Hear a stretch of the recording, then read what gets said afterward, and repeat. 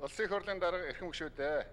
Улсын их хурлын гишүүн О Загтгарл нарын 9 гишүүн 2022 оны 5 дугаар сарын 18-ны өдөр Улсын их хурлд өргөн мэдүүлсэн Монгол Улсын их хурлын тухай хууль нэмэлт өөрчлөлт оруулах тухай хуулийн төслийг хэлцэх хэсэг асуудлыг Улсын их хурл 2022 оны 6 сарын 17-ны өдрийн чуулганы нэгдсэн хуралдаанаар хэлэлцэж анхны хэлэлцүүлэгт бэлтгүүлэхээр төрийн байгуулалтын байнгын ороонд шилжүүлсэн билээ.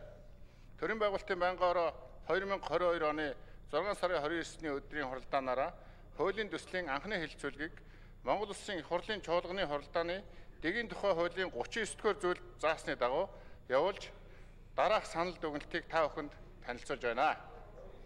Байнгын хорооны хуралдаанаар хуулийн төслийн хэлэлцүүлгийг явуулах үед Улсын их хурлын гишүүн Д Гамбат бүлгийн даргаыг чөлөөлөх, огцруудах, ширээр томлох асуудлыг намын төв байгууллага нэр дэвшүүлсэн зөвшөөрлөн санал болгосноор бүлгийн нийт гишүүдийн олонхын саналаар шийдэх санал шийдэх талаар санал гаргасныг хуралдаанд орсон гишүүдийн олонх дэмжээгүй болно. Улсын хурлын эрхэм гишүүдээ Монгол Улсын хурлын тухай хууль нэмэлт өөрчлөлт оруулах тухай хуулийн төслийн анхны хэлэлцүүлгийг явуулсан талаарх төрийн байгуулалтын байнгын хорооны санал дүгнэлт зарчмын зөрүүтэй сандлын томьёоллыг хэлсэн шийдвэрлэж өгөхийг та бүхнээс хүсье. Анхаарал тавьсан явдалд баярлалаа.